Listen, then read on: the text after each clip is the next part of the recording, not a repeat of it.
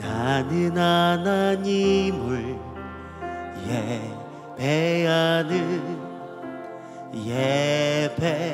예배자입니다.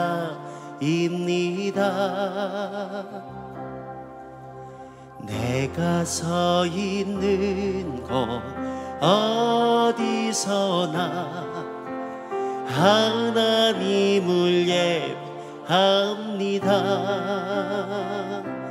내 영혼 거룩한 은혜를 향하여 내 마음 완전한 하나님 향하여 이곳에서 바로 이 시간 하나님을 예배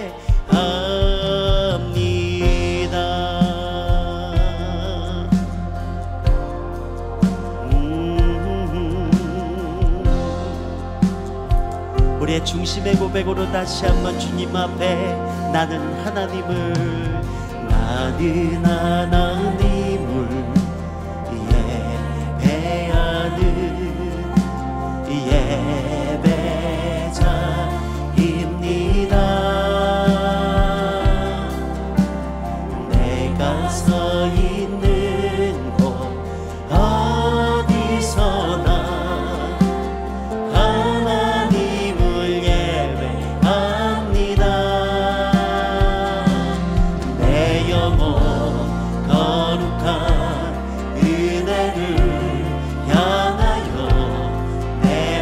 내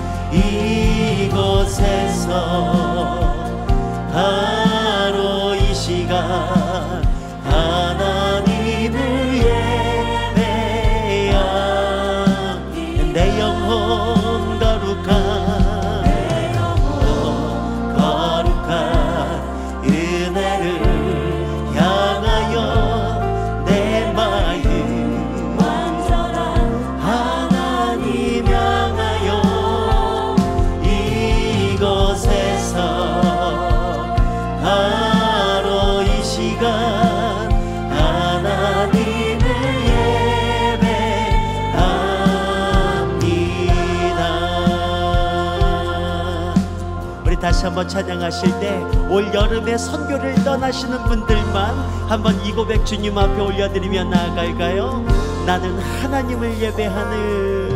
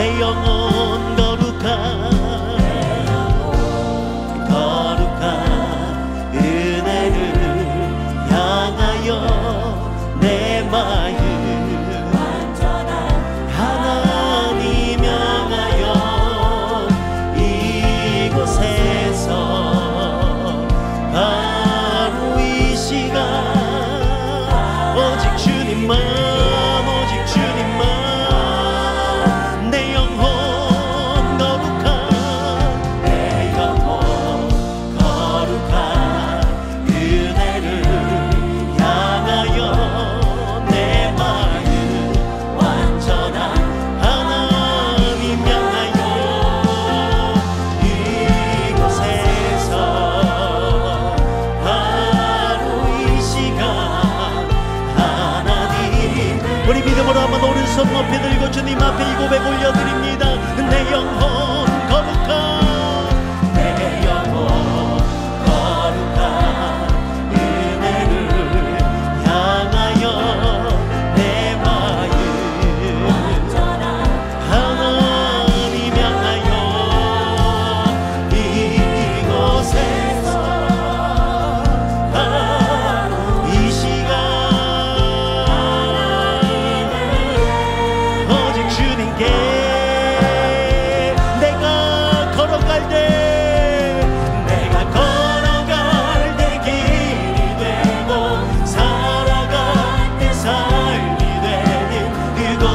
song.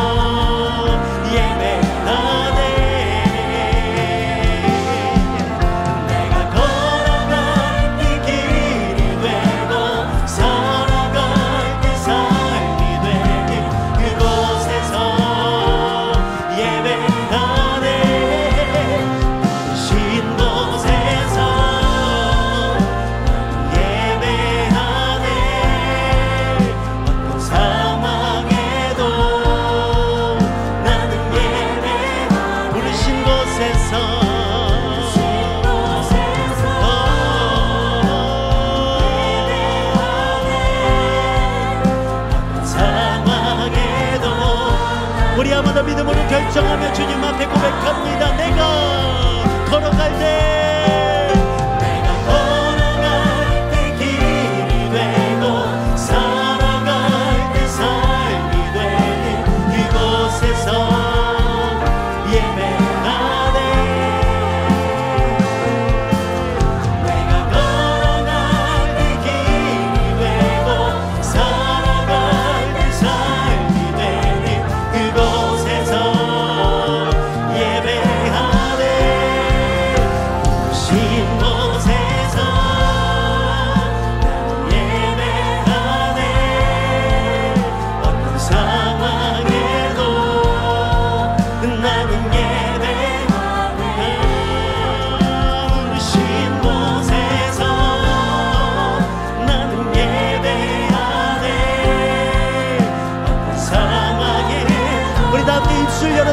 기도하기 시작하십시다. 주님이 찬양의 고백처럼 부르신 바로 그 자리에서 주님을 예배하는 하나님의 사람 되기를 원합니다.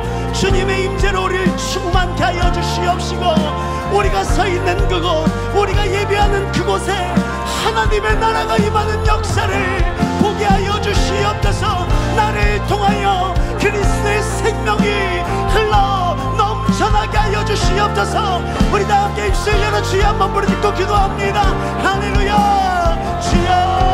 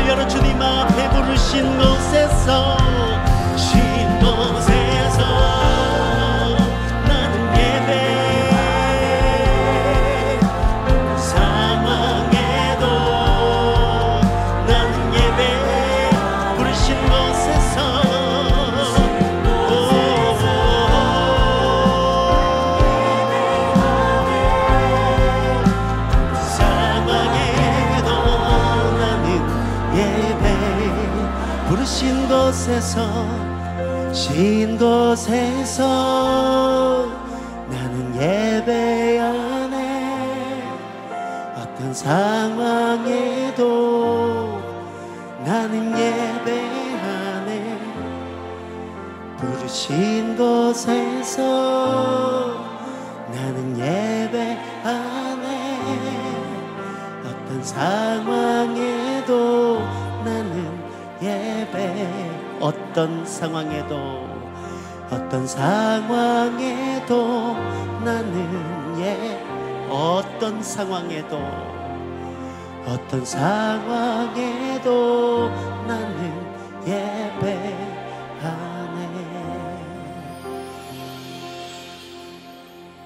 할렐루야 오늘 이 날 저녁에 저와 여러분을 주님의 예배자로 부르고 계시는 줄 믿습니다 믿으십니까? 우리가 서 있는 바로 그 자리 그곳 가운데 주님의 나라가 임하는 줄 믿습니다. 우리가 예배하기 시작할 때에 주님의 역사가 나타나는 줄 믿습니다. 믿으십니까? 우리의 삶을 통하여서 큰 영광 나타내실 그 주님 앞에 오늘 이날 저녁에 우리 한번 큰 박수로 영광 올려드립니다. 할렐루야. 주님을 찬송합니다 우리 한번 자리에 계신 분하고 한번 하이파이브 하시면 다시 한번 인사하시겠습니까? 주님의 나라가 당신의 예배 가운데 임합니다. 우리 앞뒷 분에게도 한번 손을 쭉 뻗- 뻗으셔서 인사하시겠습니까? 주님의 역사가 나타납니다.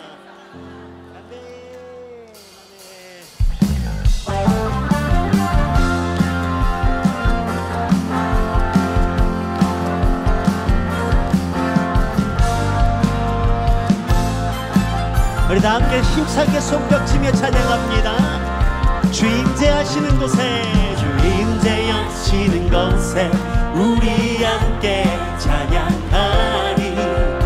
일어나 기쁨으로 소리 높여쳐 한번 더 주 임재하시는 곳에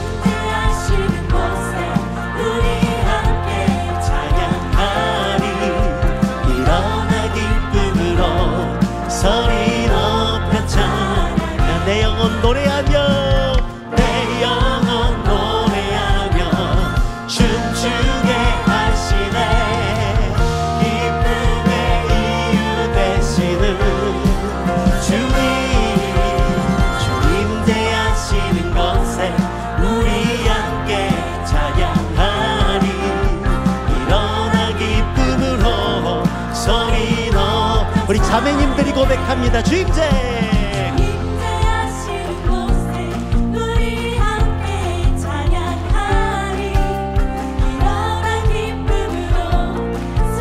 이번에 형제님들이 고백할까요? 주임자 하시는 곳에. 주임자 하시는 곳에 우리 함께 찬양하리. 일어나 기쁨으로 소리 넣자 우리 다 함께 내 영혼 노래하며.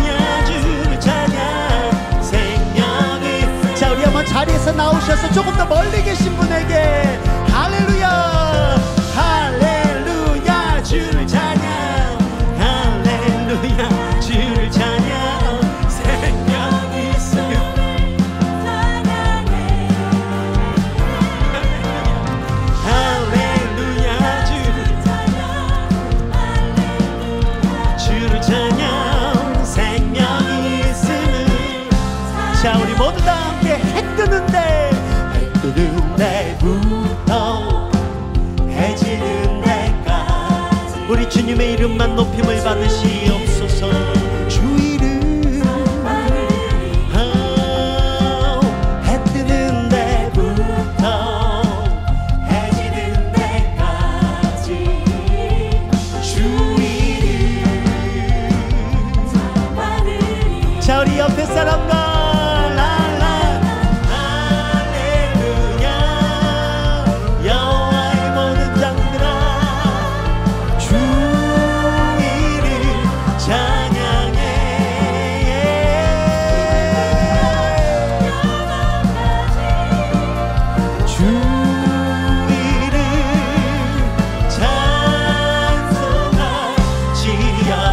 우리 믿음으로 선포합니다. 해 뜨는 데부터 해지는 데까지. 주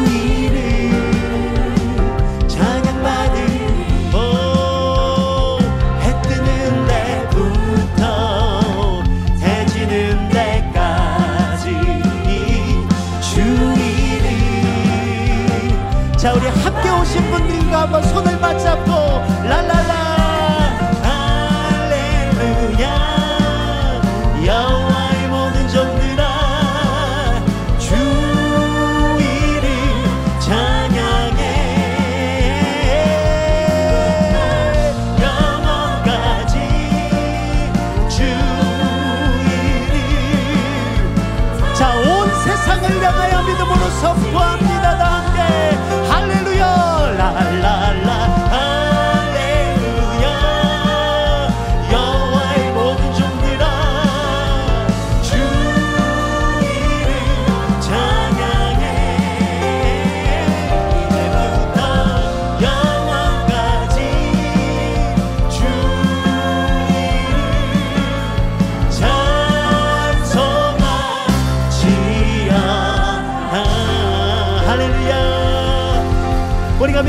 선포하는 것처럼 해 뜨는 데서 해 지는 데까지 오직 주님의 이름만 높임을 받을 시연 할렐루야. 믿으십니까? 온 세상에 온 세대의 입술을 통하여서 주님만 영광받아 주시옵소서.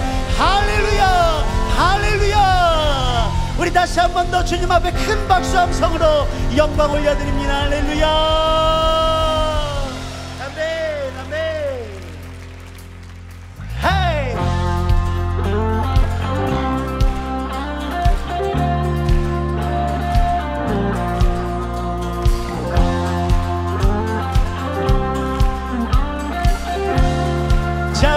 같이 나 기쁨에 나 기쁨에 노래하리 날 구원하셨네. 예. 온종일 나 춤추리 내 사랑 때문에 한 번 더 나 기쁨에.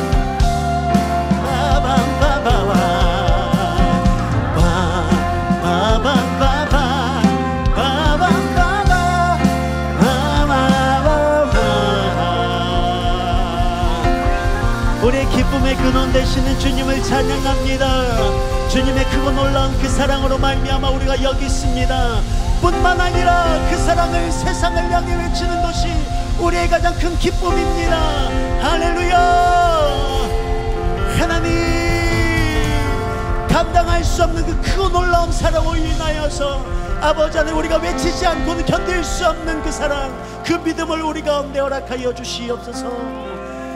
할렐루야.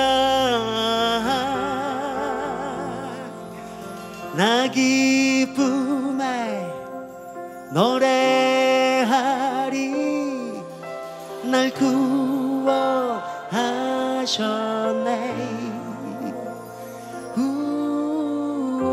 온종일 나 춤추 그 사랑 기쁨에 나 기쁨에 노래하리. 날 구원 우릴 구원하신 주. 온종일 나 춤추 그 사랑 감당할 수 없는 주님의 놀라운 사랑에 나 기쁨 노래하리 날 구원하셨네.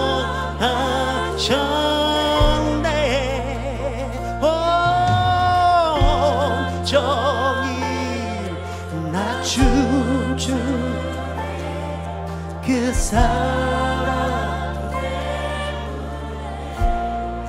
그 사랑 때문에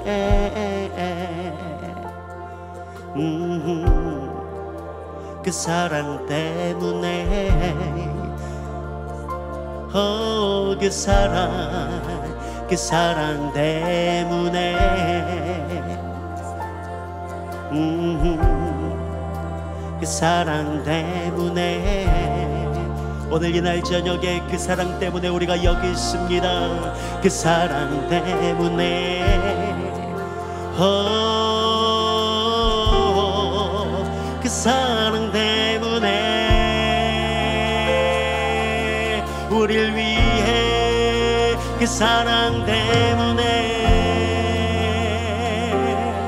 그 사랑 죽기까지 사랑하신 그 사랑. 그 사랑을 노래하지 않을 수 없습니다. 그 사랑 때문에 그 사랑 그 사랑 때문에 우리가 여기에 그 사랑 때문에.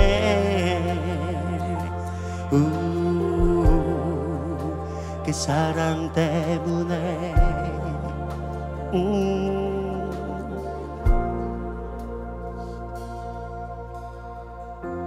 세상을 구원하기 위해 흘려야 할 네가 필요하다면 죄인을 대신하기 위해 이 삶의 재물 필요하시다면 내 생명 재단 위에 드리리 주여. 위에 사용하소서. 생명이 또 다른 생명 나도 주님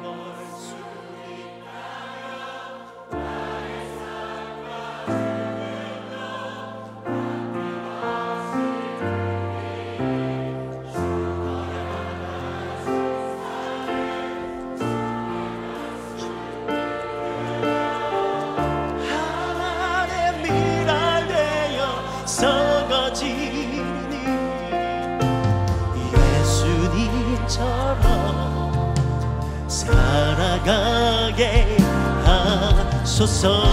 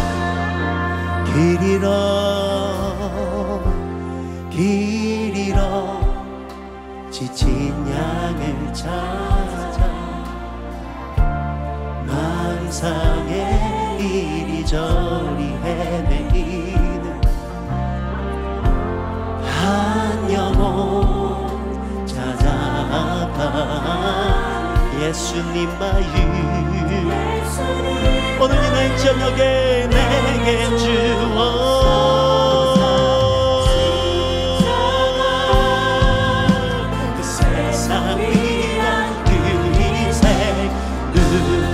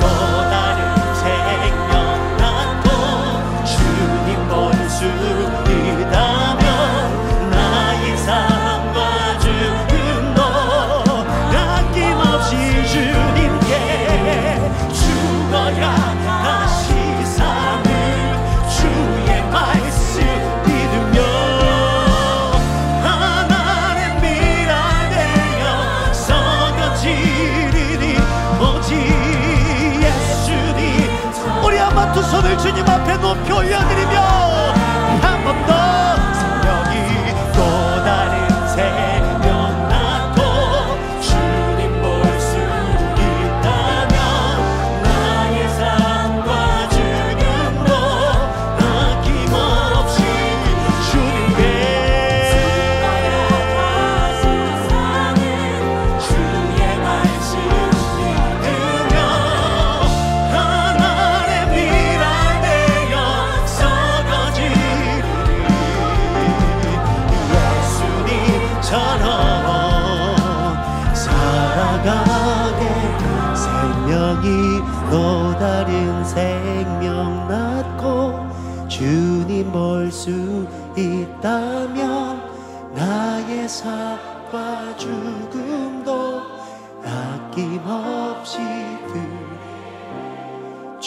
죽어야. 다시 사.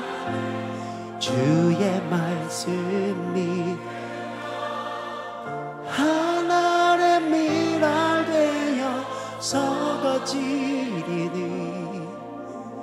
예수님처럼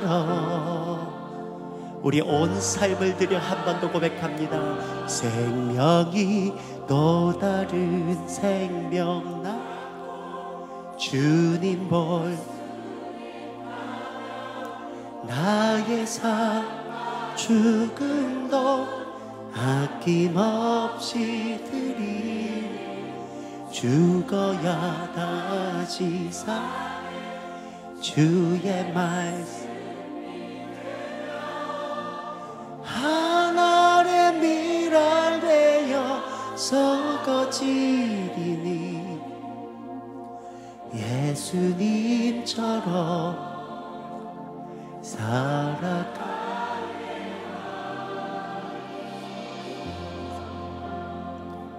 우리가 주님 앞에 우리 두 손을 내어 드린 채로 함께 기도하십시다. 하나님, 오늘 이날 저녁에 이 찬양의 고백이 나의 삶이 녹아진 고백 되게 하여 주시옵소서.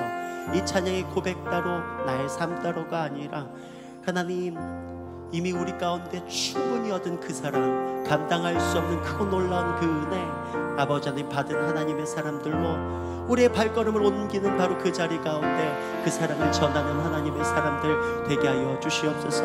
이제 내일부터 우리가 단기 선교를 떠납니다. 주님 그 발걸음을 축복하여 주시옵시고 가는 곳마다 예수 그리스도의 생명이 흘러 넘쳐나는 역사가 일어나게 하여 주시옵소서. 그 사랑이 생명을 살리는 역사를 보게 하여 주시옵소서. 우리 다 함께 두 손을 높이 올려드린 채로 주여 한번 부르짖고 기도합니다.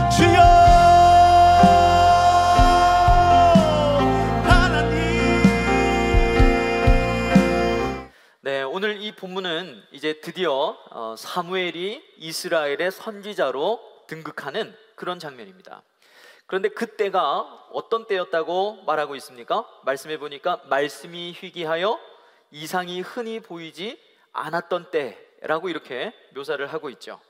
저자는 지금 엘리랑 바로 사무엘을 상당히 대조하고 있습니다. 말씀을 읽었습니다만 이 엘리는 어떻게 말하고 있습니까? 눈이 점점 어두워가고 자기 처소에 누웠다 이렇게 설명을 하고 있고 사무엘은요.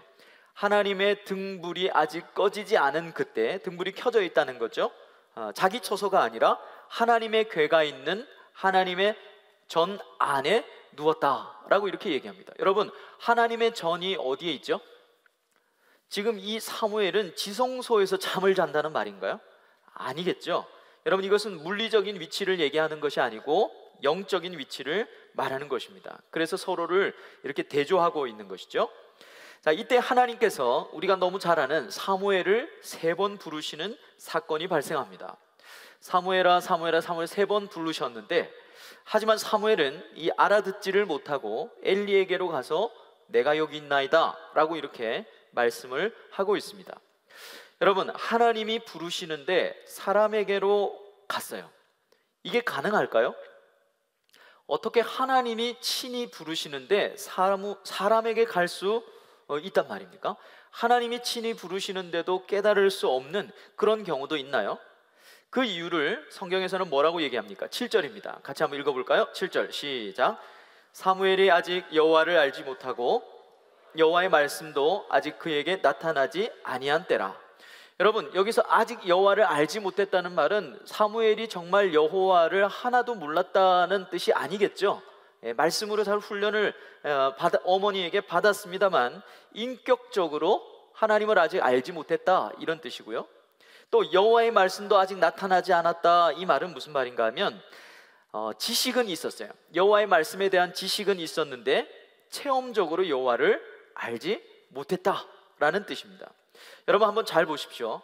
왜 사무엘이 하나님이 말씀하셨는데 그게 하나님 말씀인지 인간의 말인지 분별하지 못했는가? 성경은 어떤 식으로 묘사를 하고 있는가? 설명하고 있는가 하면 저자는 이 엘리 때문이다라고 이렇게 말하고 있지 않다는 것입니다. 우리가 하나님의 하나님을 인격적으로 체험하지 못하는 이유는요. 기독교가 타락해서가 아닙니다. 오늘날의 교회가 세상과 타협하고 세속주의에 물들고 또 비성경적인 모습이 너무 교회 안에 많아졌기 때문이라고 생각하면 안 된다는 것이죠. 하나님의 말씀으로 그분을 알지 않았기 때문입니다. 그래서 하나님이 말씀하셔도 하나님의 말씀인지를 모르는 거예요. 여러분, 뭔가 다른 것으로 우리가 하나님을 알려고 하면 우리는 영원히 인격적으로 하나님을 체험할 수 없습니다. 오늘 이 본문은 이제 사무엘이 선지자로 서는 이 장면인데 여기에서 처음부터 끝까지 강조하고 있는 게 뭐냐면 말씀으로, 말씀으로, 말씀으로. 우리가 여호와를 말씀으로 알지 못하면 여호와가 친히 내게 말씀하셔도 그게 하나님 말씀인지 깨닫지 못한다는 거예요. 어떤 체험이라든지 신비적인 경험이라든지 이런 것들로 환상이라든지 이런 것들로 여호와를 그것만으로 알려고 한다면 우리는 하나님이 말씀하셔도 못 알아듣는 지경에 갈 수 있다는 것입니다. 자, 하나님께서 사무엘을 부르시는 사실을 직감한 이 엘리가 드디어 이제 다시 하나님께서 부르시거든 여차히 여차히 하라고 이렇게 일러 주죠. 하나님은 세 번 부르시고 못 알아들으니까 하나님께서 어떻게 하십니까? 아이고 아직 어리네 끝 뭐 이렇게 하시지 않으셨어요. 다음 기회에 꽝 뭐 이렇게 얘기 안 하시고 어떻게 하십니까? 하나님이 부르실 때는요 포기가 없으세요. 하나님께서 우리를 부르실 때는 반응하실 때까지 부르신다는 것입니다. 드디어 네 번째 부르심에 하나님과 사무엘의 조우가 일어납니다. 자, 그런데 어린 사무엘을 만나는 하나님의 모습이 어떻게 묘사되어 있는지 10절 말씀을 한번 보십시오.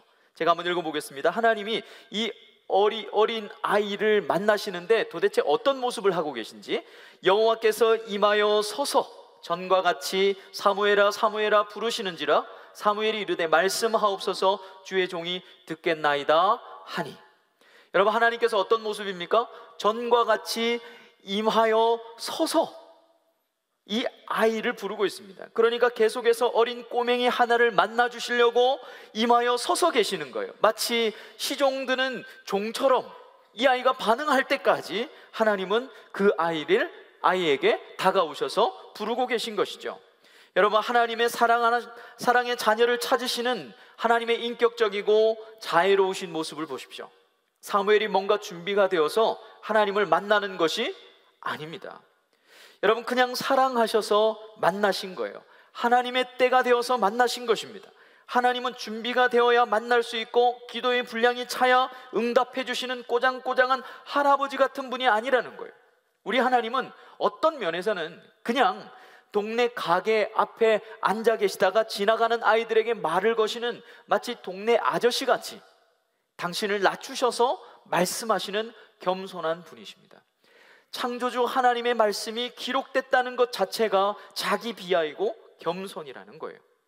여러분 무엇을 말씀하셨습니까? 사무엘에게 그 어린 아이에게 무엇을 말씀하셨죠? 11절의 말씀에 보시면 하나님은 사무엘에게 듣는 자마다 귀가 두 귀가 울릴 정도의 무서운 심판을 말씀하셨어요.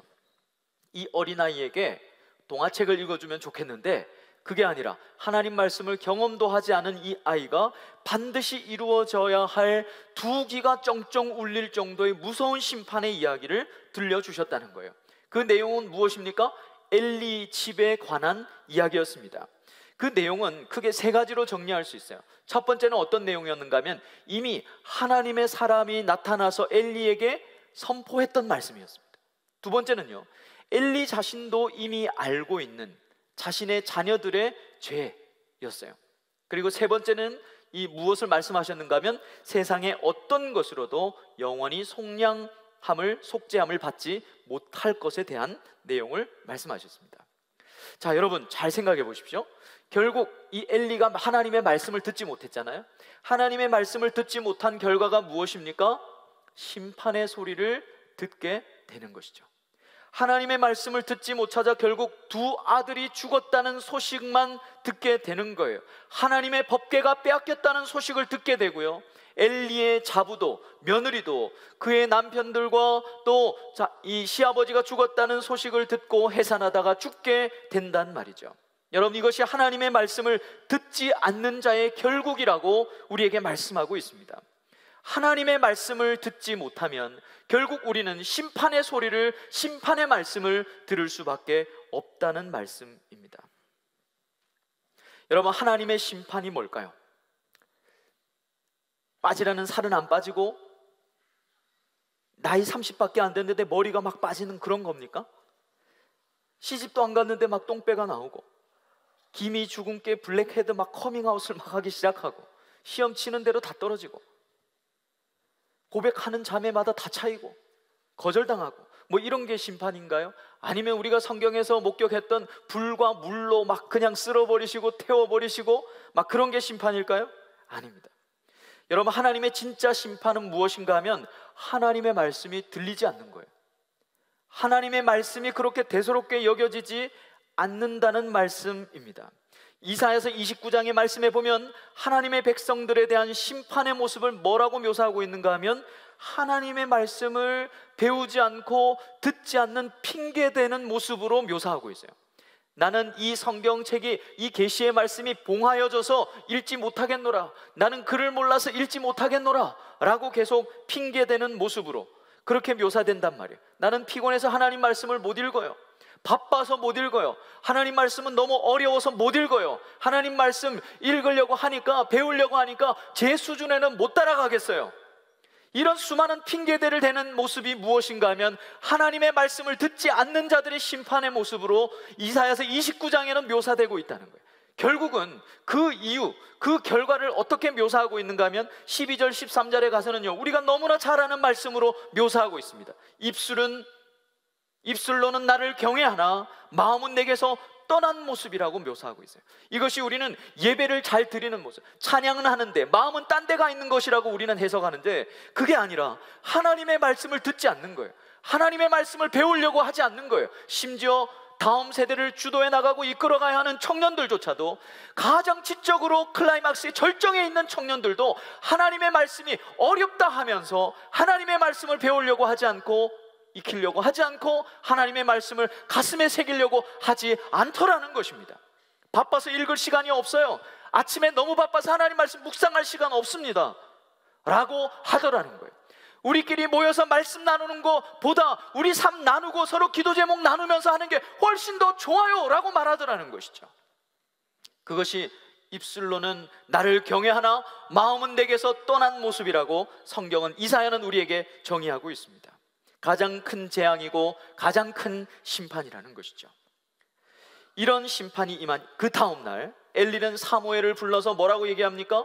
하나도 빠짐없이 다 나에게 고하라 라고 이렇게 말합니다. 여러분 17절 말씀을 같이 한번 읽어볼까요? 도대체 엘리가 어떻게 이야기했는지 한번 같이 읽어보겠습니다. 시작. 이르되 청하노니 내게 숨기지 말라. 내게 말씀하신 모든 것을 하나라도 숨기면 하나님이 내게 벌을 내리시고 또 내리시기를 원하노라 하는지라. 무려 여러분 이 말씀을 원문으로 보면 무려 말씀이라는 말이 단어가 몇 번 등장하는가 하면 다섯 번이나 등장합니다. 하나님의 말씀을 들어야 할 때 듣지 않고 여러분 이제 심판의 말씀에 민감하게 반응을 보이면 뭐 어떡하자는 겁니까? 이미 늦었는데 결국은 이 말씀을 듣는 엘리의 모습조차도 회개를 위한 말씀을 듣는 태도가 아니었다는 것이 문제라는 것이죠. 그래서 저자는 이 15절의 말씀해 보니까 이 날을 어떻게 묘사하고 있습니까? 사무엘이 여호와의 집에 문을 열었다. 사무엘이 여호와의 집에 문을 열었다. 아주 상징적인 말로 묘사하고 있는 거예요. 마치 이것은 상징입니다. 마치 성태치 못했던 한나의 태가 열린 것처럼 이제 하나님의 집도 열려서 하나님의 말씀이 나타나기 시작했다라고 이야기하는 듯 한다는 것이죠. 무슨 말인가 하면 이제 새 시대가 열렸다는 것입니다. 새 시대가 열렸다는 거예요. 여러분 언제 시대가 바뀐다고 생각하십니까? 흔히 많은 사람들은 시대가 바뀌는 세상이 바뀌는 시점을 법이 바뀌는 시점이라고 생각해요. 그래서 투쟁하고 데모하고 운동하면서 끊임없이 법을 바꾸어 나갔습니다. 물론 독재에 대한 투쟁이라든지 민주화 운동이라면 여러분 그건 잘못된 것이 아니에요. 그러나 성경은 시대가 바뀌는 시점은 그렇게 이념이 바뀌고 법이 바뀌는 시대라고 말하지 않고 하나님의 말씀이 이동하는 때라고 말하고 있습니다. 하나님의 말씀이 들려지기 시작하는 것이 시대가 변하는 시점이라는 것이죠. 여러분 우리의 인생도 마찬가지입니다. 아브라함의 인생도 갈대아 우로에서 나와서 내가 너에게 분부하는 곳으로 가라라고 하시는 그 말씀을 듣고 반응할 때 그에게 진짜 아브라함의 의미 있는 인생이 시작될 것처럼 우리의 인생도 마찬가지라는 거예요. 뭘 해도 안 되고 늘 우울하고 삼류 변두리 종점 같은 내 인생이 정말 하나님의 택한 백성으로 세상의 중심처럼 느껴지는 그런 시점이 언제 온다는 말입니까? 임용에 합격하고 시험 치는 것마다 다 되고 공시에 패스하는 그런 시점이 아니라 바로 말씀이 들려지는 시점이라는 거예요. 성경을 잘 보십시오. 말씀이 엘리에게서 사무에게로 이동하자 시대가 바뀌었다. 말씀이 엘리에게서 사무에게로 이동하자 시대가 바뀌었다라고 말씀하고 있습니다. 여러분 이것이 바로 다음 세대를 세우는 방법입니다. 이 패턴은 사울 왕에서 다시 다윗 왕으로 정권이 교체될 때 동일하게 적용되어지고 있고 우리 역시 다음 세대로 세워져야 하는 패턴인 것이죠. 무엇입니까? 말씀입니다. 여러분 우리 신앙의 가장 중요한 뼈대가 무엇입니까? 바로 하나님은 말씀하는 분이시라는 거예요. 하나님은 말씀으로 천지를 창조하셨죠. 삼라만성을 있으라 라고 하는 말씀 한마디로 존재하게 하셨습니다. 예수님은 이 땅에 말씀으로 오셨고 기회가 있을 때마다 귀 있는 자는 들을지어다 귀 있는 자는 들을지어다 말씀하시다가 기록된 말씀을 우리 두 손에 주고 가셨습니다. 요한계시록 22장 마지막 장에도 말씀하시는 하나님이 우리를 초대하시는 장면으로 이 66권은 끝난다란 말이에요. 자, 이 창세 이, 이, 이 성경 66권은 태초에 하나님의 말씀이 천지를 창조하신 사건으로 시작해서 말씀하시는 하나님이 우리를 초대하고 있는 사건으로 끝나더라는 말씀입니다. 여러분 인류 역사를 쫙 보십시오. 그 사이사이에는 촘촘하게 여호와의 행하신 일들이 촘촘하게 바뀌어 있습니다. 그리고 여호와의 행하신 일들의 그 사이에 더 촘촘하게 하나님의 말씀하심이 있더라는 것이죠. 그래서 하나님의 말씀을, 말씀을 듣는 것이 신앙의 가장 중요한 뼈대가 되는 것입니다. 우리의 인생도 마찬가지예요. 우리가 하나님의 말씀을 들을 때 우리는 새로운 세대, 진정한 다음 세대가 되는 것입니다. 19절 이유는요, 사무엘이 자라면서 이제 이스라엘의 선지자가 되었다. 이 말을 하고 있어요. 그런데 어떻게 묘사하고 있는가? 19절, 20절 말씀입니다. 우리 다 같이 한번 읽어볼까요? 같이 읽겠습니다. 시작. 그의 말이 하나도 땅에 떨어지지 않고 온 백성이 하나님께서 사무엘을 선지자로 세우셨음을 알았다. 예, 저만 읽었네요. 자, 여기서 세우셨다는 말씀은 2장 35절에 나오는 말씀입니다. 하나님께서 뭐라고 예언하셨는가 하면 나를 위한 충실한 제사장을 세우겠다 그러셨죠. 근데 여기서 이 충실하다는 말이 여기서 세우셨다라는 말하고 동일한 말입니다. 그러니까 하나님이 세우신 충실한 종은 누구예요? 예, 사독의 집안이 아니라 사무엘인 것이죠. 사무엘은 그의 말이 다 응했습니다. 그리고 선지자인 것을 어떻게 알았어요? 온 백성이 다 알았습니다. 여러분 잘 보십시오. 아무도 인정해 주지 않는데 자기 혼자 사명받았다고 신학교 가겠다는 식으로 사무엘의 모습을 묘사하고 있지 않아요. 온 백성이 다 인정했다는 말을 하고 있습니다. 여러분 이것이 하나님의 일하시는 방식 중에 하나입니다. 그래서 월터 브루그만은 이런 말을 했어요. 하나님은 사회성으로 일한다. 이게 무슨 말일까요?